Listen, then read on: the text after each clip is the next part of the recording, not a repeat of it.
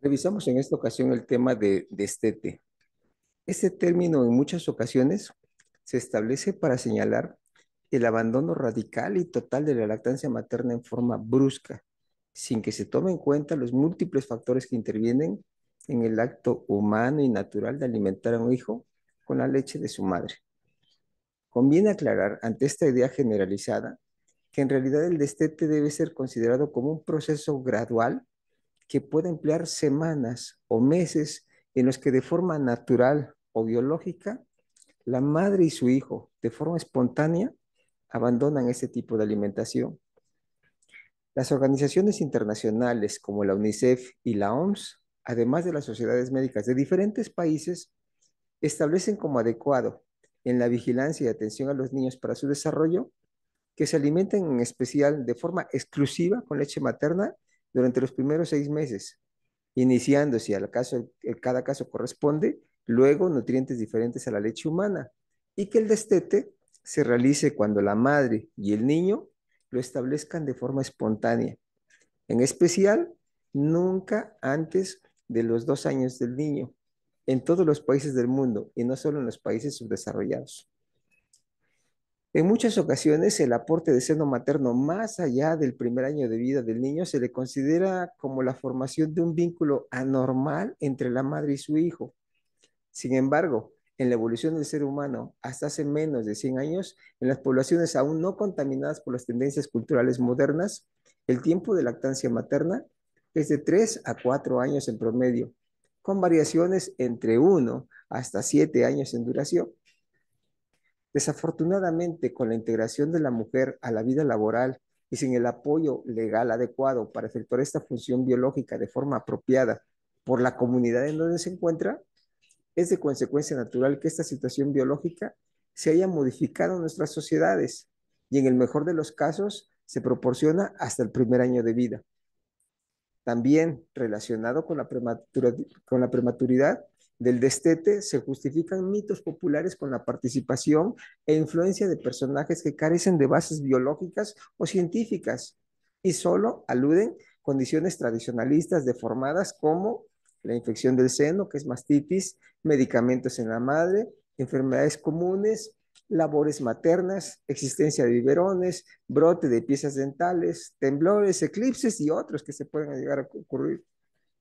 Bajo esos antecedentes se llega a la incertidumbre habitual entre el conocido efecto protector de la lactancia y la teórica insuficiencia de la leche materna para poder satisfacer de forma adecuada las necesidades de energía y de nutrientes necesarios para el niño de mayor para el niño mayor del primer año. Debemos tomar en cuenta que a esta edad la leche normalmente ya no es el alimento totalmente del niño y es un complemento de la alimentación. Así, con la incertidumbre de los conocimientos adecuados e incluso con la opinión de algunos médicos, es muy común que la mayoría de las madres se ven presionadas a destetar a sus hijos, más por condiciones sociales que por los efectos biológicos. Adicionalmente, la manera de llevar a cabo este proceso se nota en forma frecuente que involucra algún tipo de crueldad, cuando se realiza de forma súbita con la sustitución total de sus tomas previas de leche materna por alimentos relacionados con la dieta complementaria, condicionando el llanto del niño, justificando el dejarlo llorar por la condición del clásico, ya se acostumbrará. La lactancia prolongada proporciona beneficios para ambos y deberá de promoverse ante la circunstancia de poder permitir en el niño mayor capacidad de protección contra infecciones tempranas, estimulación más adecuada al desarrollo cerebral y la inteligencia,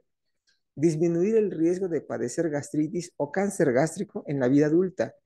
proteger el desarrollo de la obesidad y de enfermedades metabólicas, disminuir el riesgo de enfermedades alérgicas o inmunológicas, evitar la osteoporosis y tener un mejor desarrollo emocional.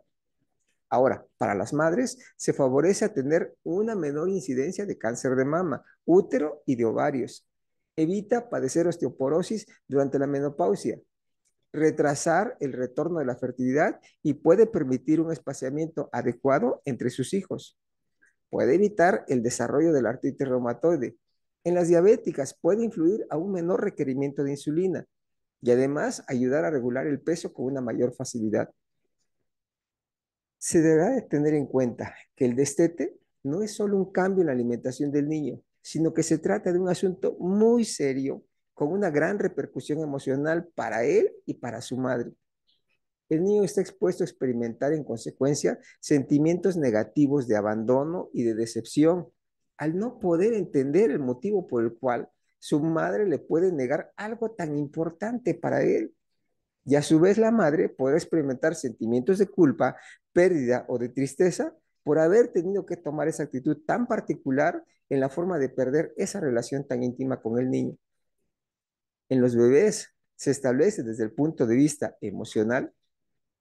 que cuando sus necesidades primarias se satisfacen, se satisfacen a su tiempo debido, cuando el niño las necesita, permite que sean más independientes, seguros y emocionalmente estables en el futuro.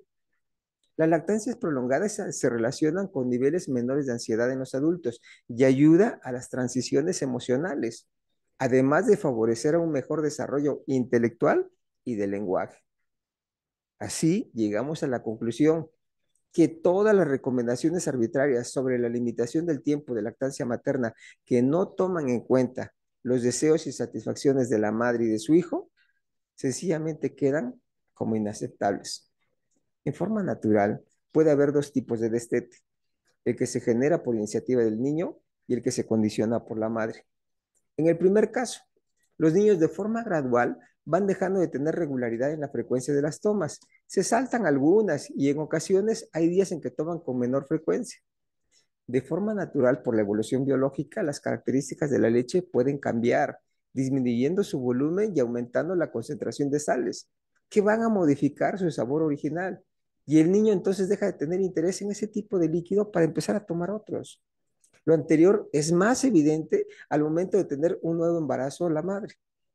En el caso particular que aún quisiera seguirse alimentando durante el embarazo, se deberá atender mejor el aspecto nutricional de la madre para evitar deficiencia en la composición corporal y el desarrollo del nuevo ser. Cuando corresponde a iniciativas de la madre, se sugiere que intente planearlo de una forma adecuada y llevarlo a cabo de forma paulatina, se deberá de aplicar cambios de rutina en donde la madre se anticipe al momento habitual de las tomas de leche con distracciones y conductas alternativas que le hagan percibir al niño sensaciones de afecto y motivación para lograr otras acciones que lo distraigan y que lo interesen en otras alternativas de alimentación o maniobras que incluyan distracción para que dirija su atención algo nuevo y atractivo en lugar de tener conciencia de la pérdida de la lactancia. La sustitución ofreciendo comidas o bebidas al, fin de calmar su sensación de apetito que quiere satisfacer con la leche materna, además de realizar también la sustitución de tipo emocional, proporcionando un mayor afecto, consuelo por parte de ella. Y aplazamiento, en especial con aquellos niños que tienen capacidad de entender de forma más fácil, para solicitarle que se pueda permitir algunas demoras en la disponibilidad del seno, condicionando de esa forma retrasos progresivos y permitir que en el intervalo realice otras actividades que lo mantengan contento mientras tanto. Se sugiere evitar el destete de forma brusca, sin interesarse en el aspecto emocional de su hijo, ya que le puede generar entonces alteraciones en su futuro emocional. Evite el destete por abandono con la separación física del niño. El niño necesita a la madre no solo por el alimento, su presencia y apoyo emocional es muy trascendente en esta parte de su vida. Esperamos que el tema haya sido de su interés. Si lo hemos logrado, lo invitamos a que comparta el tema con otros de sus amigos a través de sus redes sociales, compartiendo este enlace. Puede invitarlos a que se suscriban a nuestro canal y también que activen el botón de notificaciones para recibir la información de nuevos videos. Por lo demás, me resta agradecer su atención y esperamos contar con su interés en nuestro siguiente video. Hasta luego y muchas gracias.